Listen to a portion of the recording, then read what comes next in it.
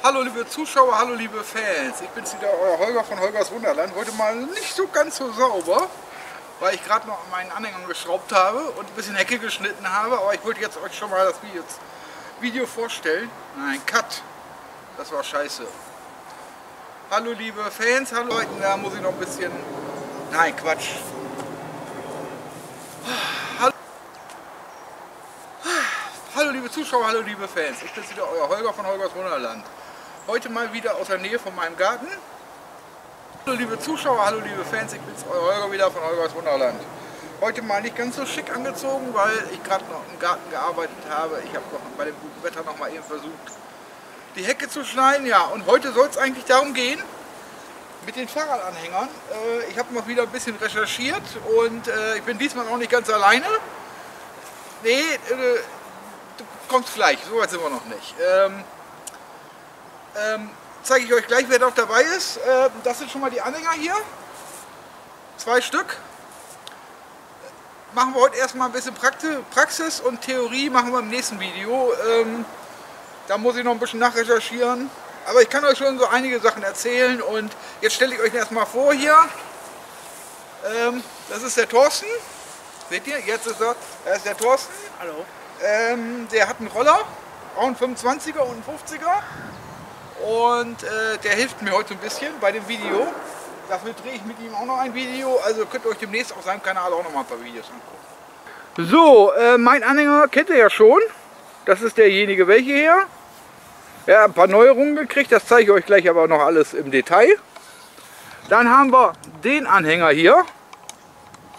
Der ist neu, beziehungsweise mit Perwoll gewaschen.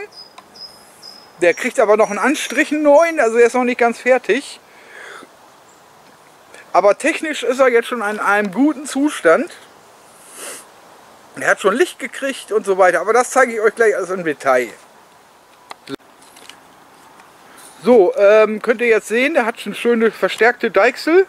Hat vorne einen Standfuß gekriegt. Dann hat er vorne die Beleuchtung. Jeweils links und rechts einen Haken. Und zwar zeige ich euch das mal. Mal gucken, ob ich das jetzt äh, einfangen kann. So, an den haben wir hier jetzt schon mal so ein äh, Auto ich glaub, der Thorsten Stecker dran gemacht die Anhängerkupplung, damit wir da vernünftig Licht von haben. Oben. Das ist der Haken und daneben ist der, der weiße Strahler, ist auf, genau auf der anderen Seite. Die, die haben wir neu, neu, dran gemacht, damit wir da ein Gepäcknetz einhängen können, die, die Haken und die Strahler, damit wir gut gesehen werden. Weil es müssen vorne zwei weiße Strahler dran. Sehen. So, das ist jetzt nochmal die Seiteneinsicht. Da sind zwei orangene Strahler dran. Einmal da und einmal vorne. So, dann haben wir den hinten ausgestattet schon mit zwei Rückleuchten, jeweils links und rechts mit Blinker, Bremslicht und Standlicht. Die Rückleuchten, einmal da und einmal auf der anderen Seite. Dann haben wir zwei Rückstrahler, zwei rote, ein Nummernschild und ein 25 km/h Schild, damit jeder erkennen kann, dass der Anhänger nicht schneller als 25 fahren darf. Weil mit diesem Schild dran darfst du einen Anhänger auch hinter einer Mofa ziehen. Das ist schon mal eine rechtliche Vorgabe. So, jetzt zeigen wir euch mal, wie das aussieht, wenn wir ein Netz drauf machen.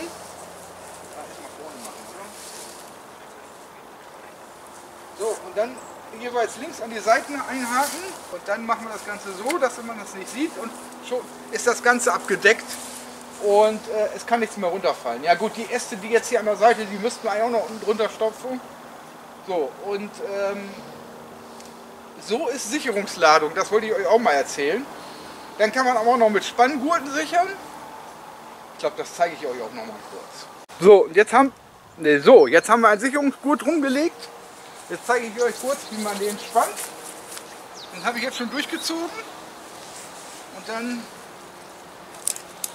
einfach so und ist natürlich doof, wir haben jetzt nicht die Ladung da drauf, die wir bräuchten eigentlich dafür. Aber nur mal kurz zu Demonstrationszwecken. Das ist dann so stabil, da könnte man den Anhänger sogar anheben.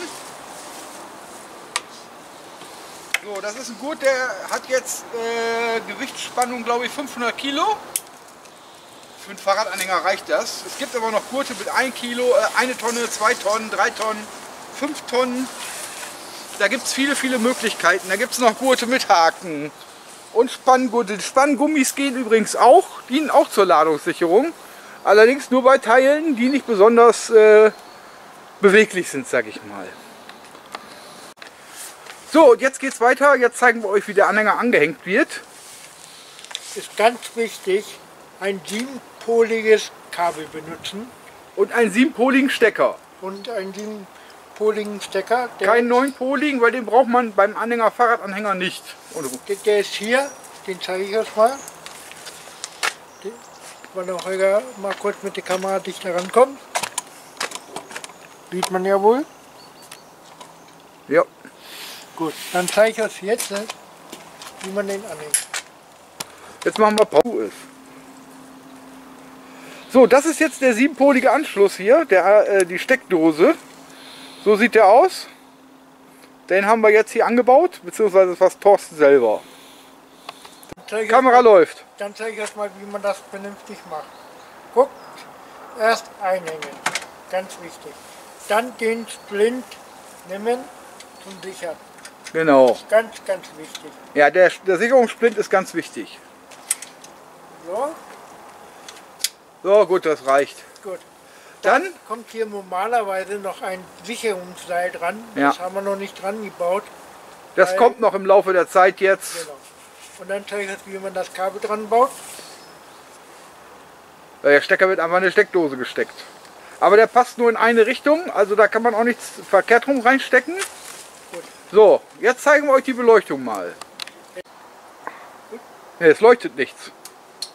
Jetzt, also wir haben jetzt hier einmal den Blinker links, dann den Blinker rechts. Warte, ich muss noch mal ranzoomen. Ich mach noch mal Blinker links und Blinker rechts. Warte, ich mach noch mal Stopp. So, jetzt.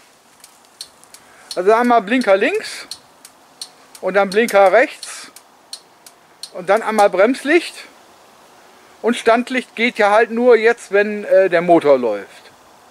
So jetzt leider nicht. Mach's mal kurz an. So, das Standlicht und jetzt nochmal Bremslicht. Äh, da stimmt was nicht. Mach nochmal Bremslicht. Thorsten, da ist irgendwas faul. So, also, liebe Leute, also, liebe Leute, hi. Ähm, das ist nochmal der Thorsten, der hat mir jetzt ein bisschen geholfen. Für den drehe ich gleich auch noch ein Video. Ähm, das war jetzt das erste Video, das war jetzt so grob umschnitten, wie das ist mit den Anhängern. Wir machen noch ein paar andere Videos mit, mit, äh, mit, mit richtiger Ladung drauf und so weiter und ähm, äh, Maßen und so weiter mit dem Zollstock und so weiter und so fort. Das war jetzt so grob umschnitten. Ähm, dann möchte ich noch mal darauf hinweisen, das ist Thorsten sein Thorsten Roller Salzgitter. Der macht da, da macht auch noch Videos, aber im Moment sind es noch nicht so viele, kommen noch welche. Wir machen auch noch mal Fahrvideos mit den Rollern, mit Anhängern und so eine Sachen. Das zeigen wir euch aber beim nächsten Video oder beim übernächsten Oder über übernächsten. oder beim überübernächsten. Oder beim über über übernächsten. Genau. Oder Dann so. Wünschen wir euch einen schönen Tag und erholt euch. Ja, und ich bin aber noch nicht fertig, weil vergesst nicht zu abonnieren, vergesst nicht zu liken, zu disliken, vergesst nicht die Glocke zu drücken und schön den Kanal abonnieren und schön Kommentare reinsetzen. Das kostet nämlich kein Geld und ich antworte auch immer. Tschüssikowski, euer Holger.